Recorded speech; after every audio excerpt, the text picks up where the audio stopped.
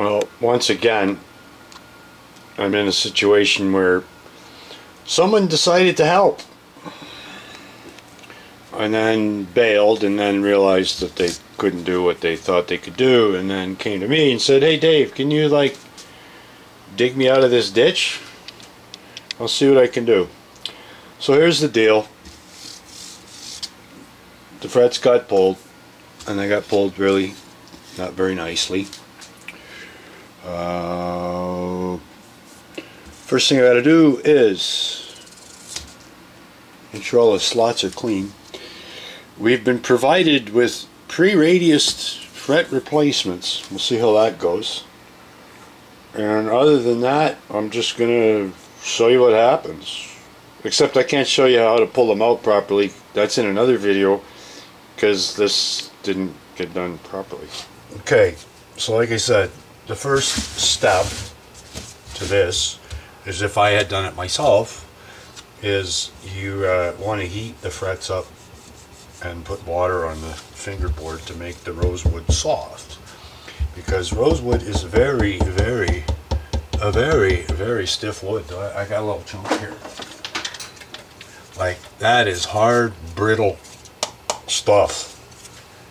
And of course it's going to chip out. With that being said, next on my credenza, once the uh, frets were removed properly, take the uh, correct radius block and uh, just sort of kind of true this guy up a bit. Let's just uh, looking for what I'm looking for. Let's just do this. Just see what's going on.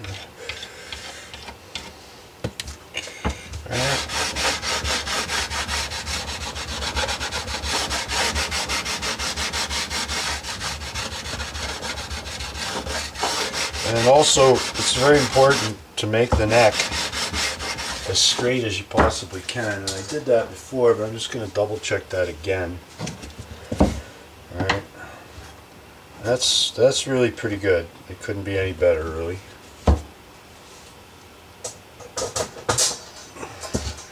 And, uh, there's my sandpaper. It's all loaded. That's why I'm not getting anywhere. For a new piece.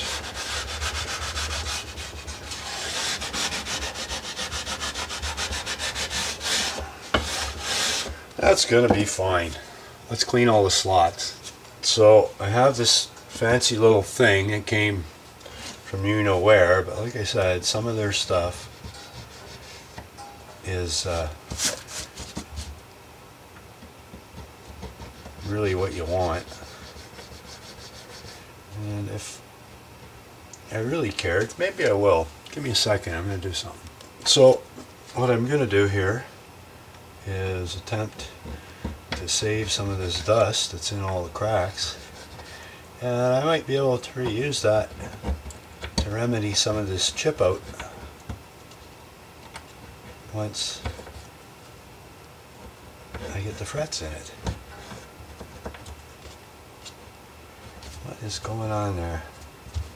And this also has a thing that lets you check to make sure that the slot for the fret is the right depth.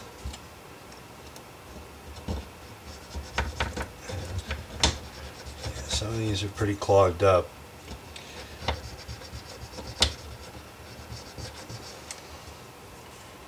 Okay, so you get that idea, right?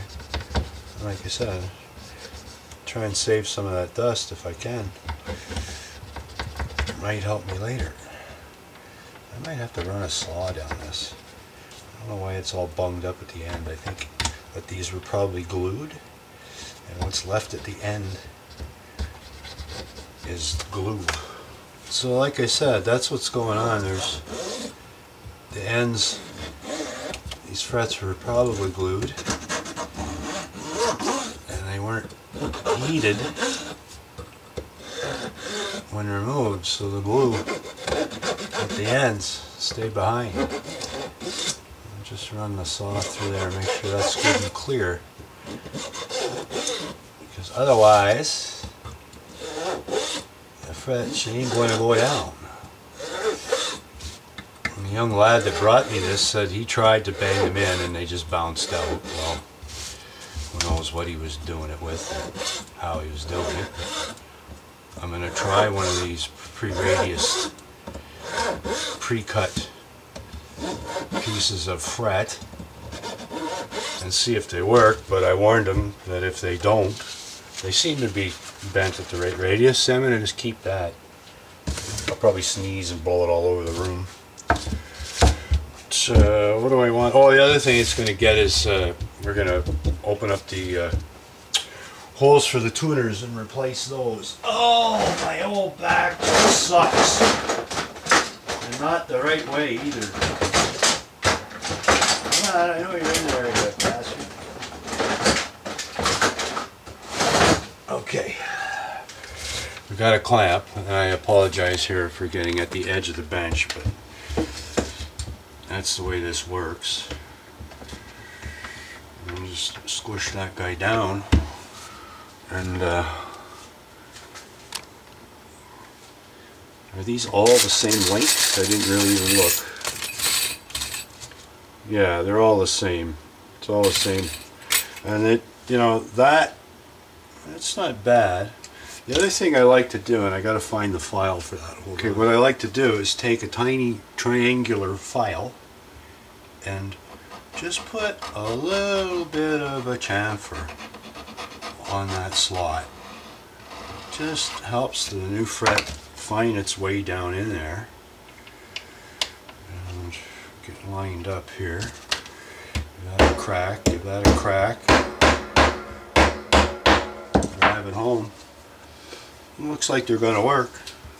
Sure. Why not? Okay, so we've achieved that. Don't get all excited and start trimming things off. It's very important to look that the fret is seated at the very edge. And what I would do, if there were any issues with that, is uh, what you have to do is you take the radius block, obviously, peel the sandpaper off it, clamp the frets down, and then we take one of these uh, pipette guys with water thin CA glue and let it drizzle all down in there and glue everyone both sides, every fret. But these seated really nice. I don't, I'm not going to bother with that. It's not necessary. It's just something that sometimes you have to do. Okay, next we're going to trim off all that stuff. And uh, I've got these nippers, which are really nice and tight and sharp and work really well. They were made by a company called Fast Cap. Alright. Once again, I hope you're in the movie. I got to uh, rejig this, guys, because I got to clamp this to the edge. We can't have things floating around on the bench when we're trying to do this. It'll just make a shit job.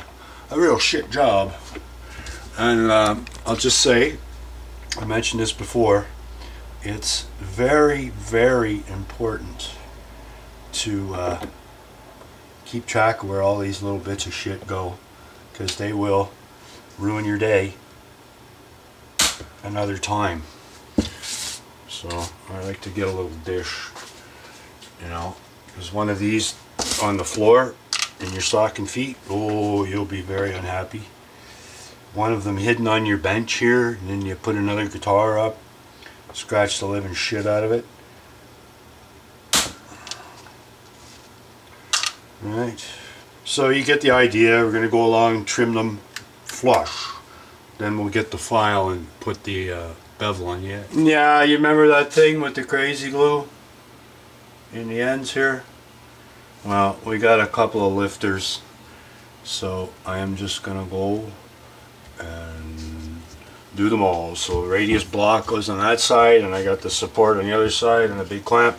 Unfortunately, the radius block is only so long, lets you only do so many at a time, but think it's a process. And it's important to have this uh, levelish so that the CA glue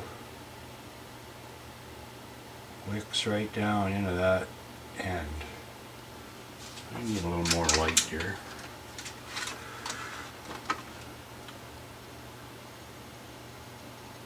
And it will find its way down in there. And when we bevel the edges, you'll never know I was there. Okay, that's as far as I can go. Now I gotta let things dry, flip it over, do that, let it dry, move the block, and uh, we'll get this. I'll just take a second to show you what we don't like. There's only one or two, but there's no point in just gluing those, so we just do them all. But, can you see that? We don't like that kind at all. So like I said, the radius block will hold it where it needs to be. And then uh, a little gap, we'll take the CA glue and she'll be good. Okay, so now I got to uh, clean up the bench a bit.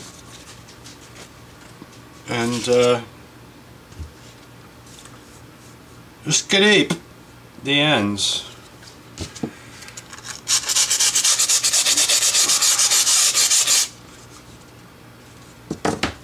File card, compliments of Craptadian Chinadian tire. So this does both angles and it has a height adjustment which I want to make sure is set, which it is. And this will do the 90 degree angle quite nicely.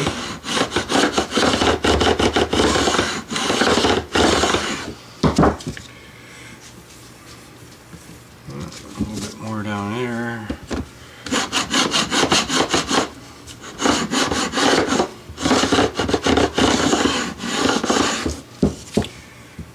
Yeah, we got a little bit of shit going on here, but I can deal with that later.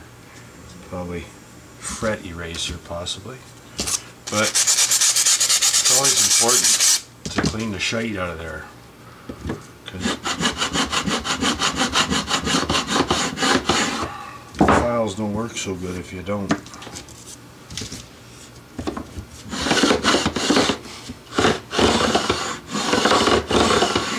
I'll live with that. Flip side. Right, and this has got a safe edge here, sort of. Sort of. If you're doing other things with it. Don't worry. If a little bit of CA glue creeped around there, you can just take that off with a razor blade later.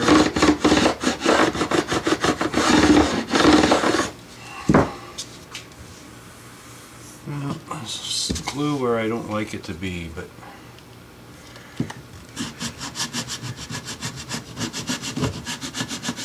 you can also do the razor blade trick later to get that as well. Beautiful. Do the angle now. Right? You do the 45 or is, is it 45? No, it's not. Maybe it is. Alright.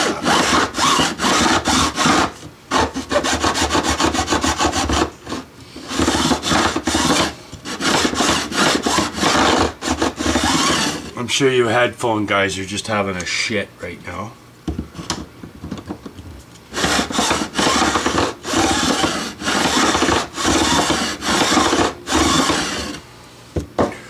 Vacuum cleaner time. Also a little bit of uh, acetone, otherwise known as nail polish remover.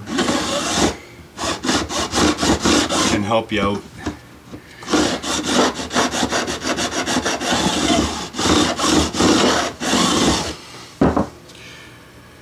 Well, there we go. We got bevels. A little bit of stuff there I don't like, but eh, we'll clean it up. Nobody knows unless you tell them.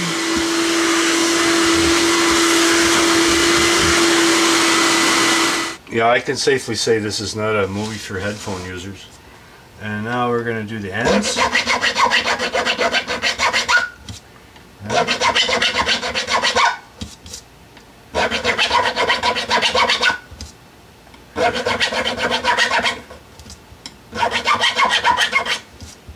Yeah, baby. So I've got some wonderful fret ends that I'm happy with. I might find something I don't like later, like maybe right there. We got to feel around for a while. Right.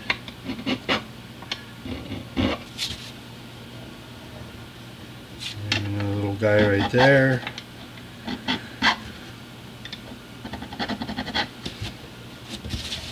Yeah, I think we can roll with that for now. What do I got here?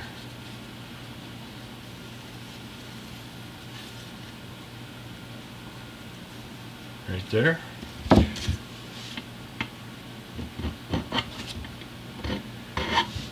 Okay, so where's my straight thing? Now that the frets are in it, let's just look and see what happened, right? And looks pretty good.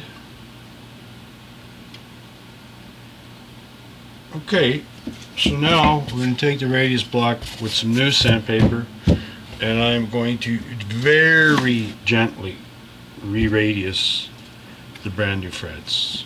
And some people would hand you that and say, hey, go. And then I talked to the young lad who brought me this and he thought that that might be okay and I told him that, no, it won't be. So let's do that. Okay, now it is time to gently level the brand new frets with the radius block. Woohoo! Okay, so now we're all blue again and we uh, put a hopefully a perfect radius on the frets because there's going to be little wiggles and stuff and guys will jam those in and go yeah you're done no it's got to be leveled and crowned and that's what we're doing next okay I'm pretty sure I quit this kind so except for the nasty chip out which I didn't do that's a nice set of wires um, the young lad that owns it wants to go at this himself. I already warned him that the nut probably won't work with the new tall frets, but I'll let him struggle through that. You can put a small shim under there, but that's really sloppy in there. and it looks like the slot is wider than it needs to be, but I'm not going to go there. Thanks for hanging out with me folks. Oh just to mention um, as far as polishing frets I've moved away from sandpaper and I'm using these things. Um, they are a little more expensive but they do last. You can wash them. Um, they're much more flexible than sandpaper. Just a thing you know? But, uh, that's it. Oh and then I got to knock out these tuner bushings and uh, see where we're at with the new ones. But that's no big deal. Anyway, Patreon, Facebook group, Twitter me, Penny Black CD, Dave's World of Fun Stuff sticker, jump in, toss a guy a bone, cheers, and be good to each other.